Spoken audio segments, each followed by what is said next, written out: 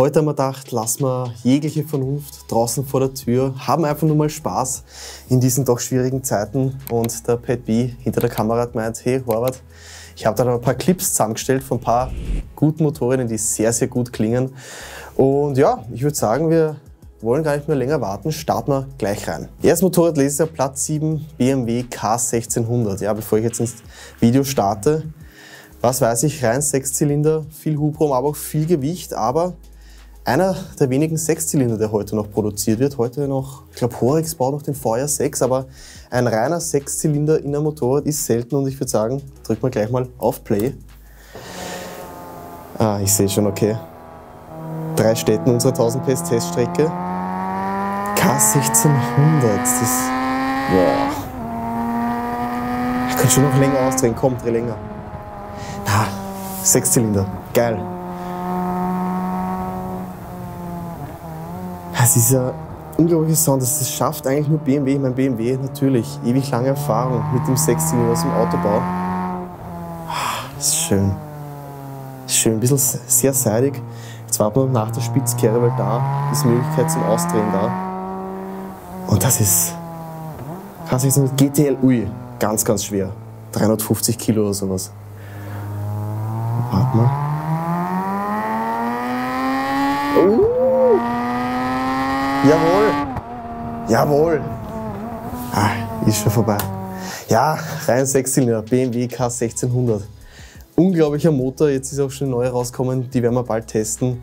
Und das ist einfach so ein unglaubliches Aggregat. Echt einzigartig, dieser Sound. Muss ich noch mal kurz den Anfang reinhören. Einfach dieses, dieses hohe Gekreisch, aber so gediegen gleichzeitig. Na, fantastisch. BMW K1600, ein würdiger siebter Platz in dieser Liste. Ähm, schaut natürlich K1600, was ihr dazu sagt. Gehen wir gleich weiter und darauf freue ich mich jetzt ehrlich gesagt echt schon. Honda CBR 250 RR. Ich hoffe echt, das ist die Babyblade, die aus den 80er, 90er Jahren 250 Kubik, rein Vierzylinder, dreht glaube ich bis 20.000, was ich mich erinnere. Aber diese Fahrzeugklasse, das müssen wir jetzt gleich reinhören, weil die drehen aus, aber es passiert nicht viel. Das ist so lustig, muss man gleich reinschauen. Kenn ich, kenn ich. Riding with Tom. Jawohl. Warte, ich muss ob ich den Tacho erkenne. Ich glaube, der fährt keine 60 km/h und dreht den zweiten, dritten Gang komplett aus und das schreit bis 20.000 muss man rein.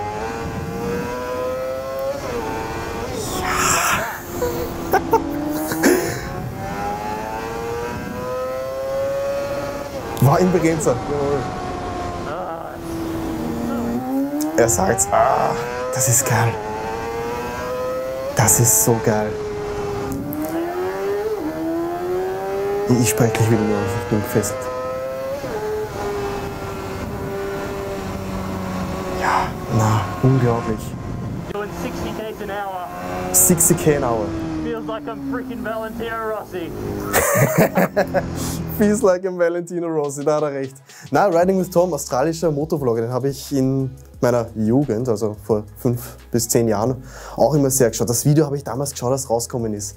CBR 250 RR. Ich würde mir das so gern kaufen oder auch die aktuelle Kawasaki ZX25R und damit einfach ein Pannone-Ring die Stadt Ziel entlang fahren. Vierter Gang voll austritt, ärgstes Gekreische und mich überholt wahrscheinlich ein, weiß ich, 600er Supersportler noch im ersten Gang.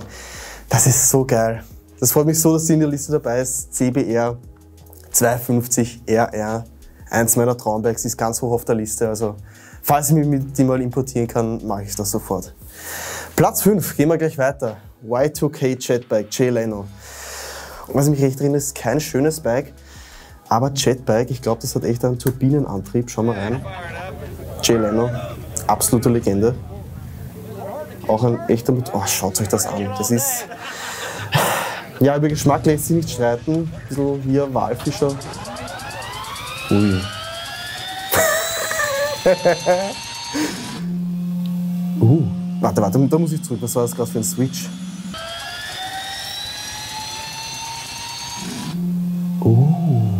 War das der Starter? ich glaube, es war der Starter, der dann umgeswitcht ist, wirklich in den Turbinenantrieb. Kleiner Funfact, den ich dazu gelesen habe damals, ich glaube, das beschleunigt in 15 Sekunden auf über 300, wenn man es will. Und wie man sieht, es hat Straßenzulassung. Das ist wahrscheinlich auf der Snake irgendwo oben in Kalifornien, wo es eh so schon so streng sind. Kannst du mit einem Jetmotor mit Motorrad fahren. So, Celeno, jetzt will ich es hören.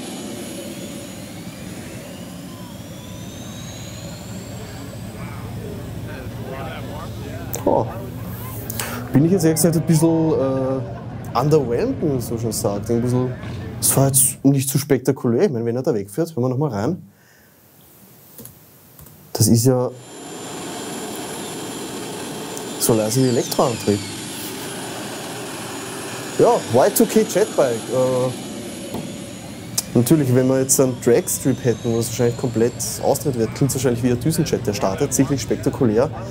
Aber so im Straßenbetrieb, Y2K Jetbike, ja, ist okay. Also nicht mein Highlight auf dieser Liste, tut mir leid. Äh, aber Platz 4 klingt vielversprechend. MV Augusta 500 Agostino. Und Agostino ist ja Giacomo dabei. Da ist er, Giacomo Agostino. Echte Legende. Hat jetzt auch sein eigenes Museum in Italien, das man, glaube ich, auf Anfrage besuchen kann. Boah. Bist du deppert? Bist du wahnsinnig?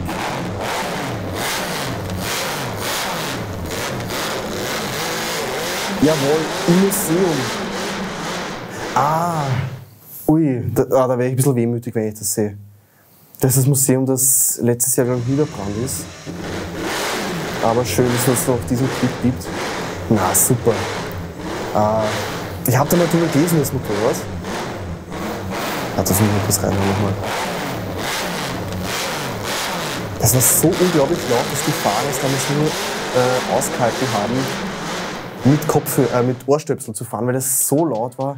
Das ist wirklich fantastisch. Ich meine, das war noch im Motorradsport äh, Zweitakt geprägt damals. Und ich glaube, da hat MV Augusta fantastisch. Einem Viertaktmotor wirklich aufgemischt. Na, super, super. Vom Giacomo Agostino drauf zu sehen. Ich meine, das ist ein Bild für Götter, das muss man echt genießen, solange wir es noch haben. Das ist ganz, ganz großartig. Platz 3, darauf freuen wir jetzt auch schon wieder Honda CBX 1100 bzw. 1000 hat irgendwas zwischen 1000 und 1100 Kubik. Und da habe ich mir schon vor ein paar Jahren ein paar Clips angeschaut, weil ich gehört habe, dass die klingt wie ein Formel 1 Auto, so vor 8 Ära und so, also noch echt gute Formel 1 Autos. Und da will ich jetzt reinhören. Ja, den Clip kenne ich. Den Clip kenne ich. Da müssen wir warten. Ja. Ja. Bist du deppert? Bist du deppert? Völlig unvernünftig. Damit heute wo irgendwo lang zu fahren bei uns. Dich wird jeder hassen. Devil Auspuff auch noch drauf. Ui. Aber rein sechs Zylinder. Das ist so eine eigene Faszination. Boah. Ich, ein bisschen Gänsehaut habe ich. Ein bisschen Gänsehaut habe ich. Na komm, ich will nicht den Stand hören. Fahr. Ich will Schub.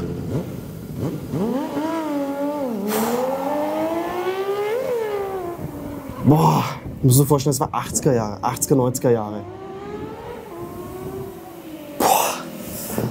Also mit dem Motorrad hasst dich jeder Nachbar, das ist garantiert. Aber du lebst dein Leben. Das, das muss man nochmal von vorne anschauen. Diesen Flyback-Clip, der ist so legendär. Gefilmt auf einer Kartoffel, so wie es ausschaut.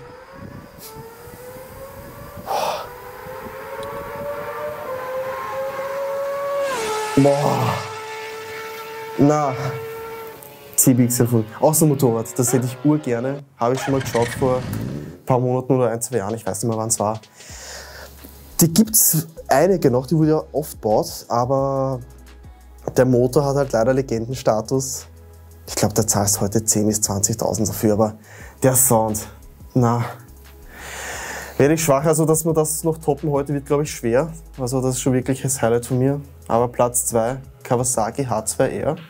Was sehr modernes, aber ich bin gespannt, weil hat zwei Motor, einer meiner Lieblingsmotoren, wenn nicht sogar mein aktueller Lieblingsmotor am Markt, kompressorgeladener, 4 Zylinder, 1000 Kubik, 200 PS in der H2R, glaube ich, bis zu 300 PS oder 326 mit RAM-Effekt, irgendwie so eine ganz verrückte Zahl. Und dieser Motor, ich, ich liebe den so, weil es gibt viele 1000er Vierzylinder, es gibt viele Motorräder mit über 200 PS. Aber diese Faszination von dem Kompressormotor, das ist so unglaublich. Also die anderen Motoren, die entwickeln ihre Leistung übers Drehzahlband und der einfach von unten raus, wenn dieser Kompressor einsetzt. Und ich weiß noch mal, ich habe da mal auf der Landstraße wieder überholt. Ich habe mit 80 gestartet und mir gedacht, überhole ich schnell. Ich habe auch schnell überholt. Schau runter 180. Also der Motor, der ist so brutal. Bin ich jetzt gespannt.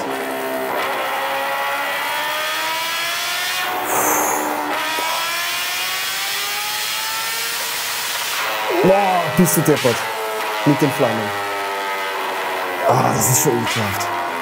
Das ist schon echt pervers. Wow.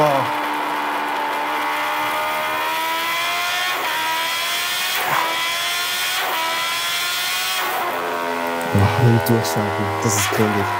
Ah, das ist geil. Ich meine, da hinten mit dem hat die Ohren schon zu, ich verstehe es, aber auf einer Messe oder so, am Prüfstand. Aber können wir bitte den älteren Herrn da ganz rechts anschauen, der kommt gerade mal ein Schmunzel raus. Wie kann ich da so ruhig dastehen? Bist du deppert? Ja, ist schon ekelhaft.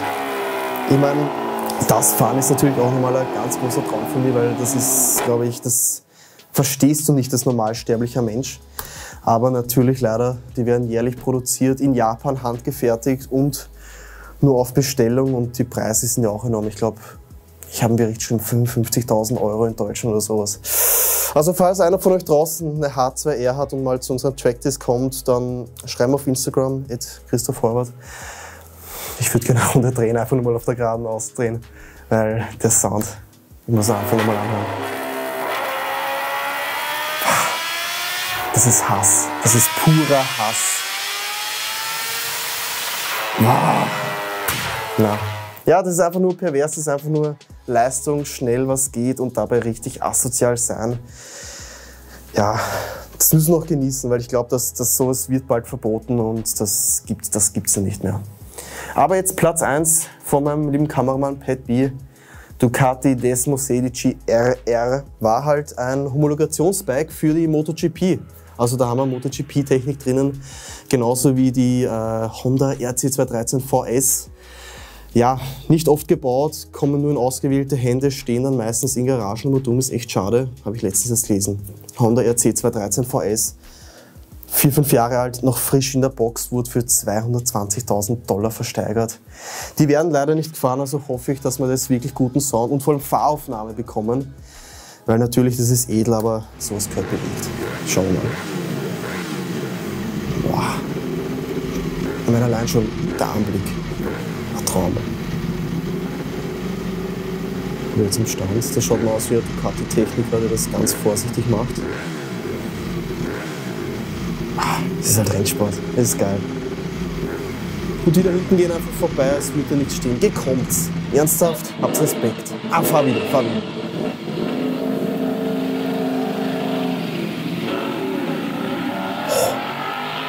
Boah. Warte, dann in dieses Anfahrmoment. Da hast du schon gemerkt. Boah. Was ist so deppert. Also Tirol ist da nicht, glaube ich, tabu. die beiden Herrschaften zeigen es schon, Finger in den Ohren. Ja, die Auspufflösung, ganz spektakulär, durchs Heck durch.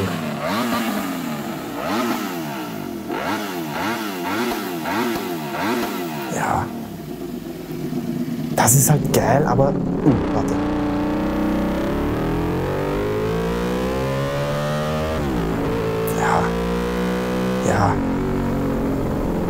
Das, das Schöne an dem Sound ist, der ist brutal.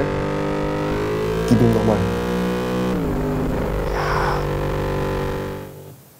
Geil, geil. Das Schöne an dem Sound ist, der ist brutal, da merkst du das Rennsport dahinter. Aber es ist trotzdem irgendwie gediegen. Das ist total elegant, wenn das beschleunigt. Das ist jetzt nicht so asozial wie die Kawasaki. Das ist, das ist richtig die italienische Emotion dahinter. Das ist einfach schön zum Anhören und ja, Ich bin jetzt auf jeden Fall gestärkt. Für mich ist heute Freitag. Ich gehe jetzt mit einem Lächeln ins Wochenende. Und natürlich, wenn euch das Video gefallen hat, äh, dann schreibt es drunter, hinterlasst ein Like und schreibt vor allem drunter, ob ihr mehr solche Videos sehen wollt. Das ist jetzt ein bisschen ein Versuch. Ich habe mir gedacht, sicher Soundvideos schaue ich mir gerne an. Äh, also schreibt es runter, falls ihr noch andere Motorräder hören wollt. Balsam für die Seele. Ich hatte meinen Spaß. Ich hoffe, ihr auch. Und dann seid fleißig in den Kommentaren. Wir sehen uns bald wieder. Bis bald. 就是爸爸